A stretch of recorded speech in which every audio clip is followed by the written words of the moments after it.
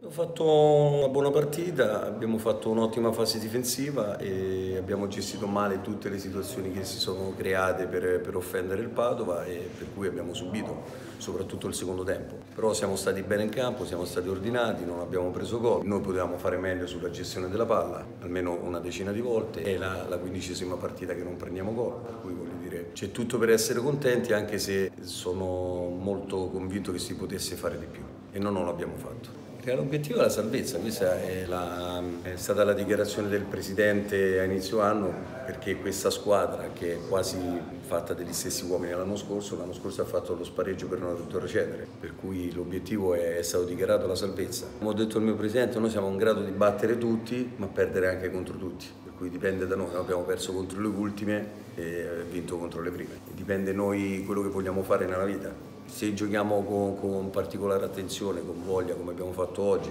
anche con molte difficoltà, abbiamo dimostrato di poter vincere anche contro il Manto e in questo momento è la squadra, non in questo momento, da inizio anno che è la squadra più forte del campionato, ma abbiamo perso anche contro le ultime in casa. Dipende da noi. Noi giochiamo partita dopo partita, adesso ne abbiamo due in casa e vediamo la prossima che è contro la Prosesso. Nel caso dovessimo fare il risultato pieno probabilmente avremo già i punti per, per una salvezza quasi matematica e potremmo puntare in avanti, però la partita bisogna vincerla perché la Prosesso l'ultima partita ha vinto fuori casa contro Renate, per cui ho, ho, i capelli bianchi, la barba bianca, per cui penso di avere una certa esperienza. Le partite vanno giocate e poi vediamo quello che succede perché nessuno ti regala niente.